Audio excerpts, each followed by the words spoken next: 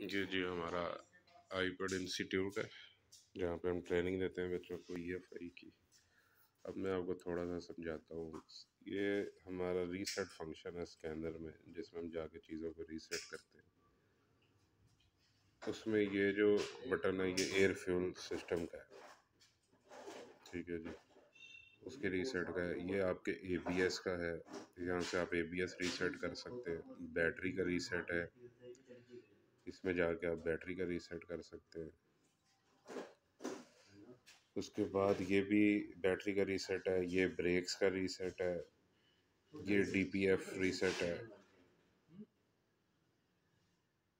हम्म, ये जो है ये ई जी आर है आपका। ई जी आर के बाद ये सेटिंग है कंप्यूटर की सेटिंग। ठीक है ये गेयर की है। ये आप इंजेक्टरों की कर सकते हैं, यहाँ से इंजेक्टर्स की।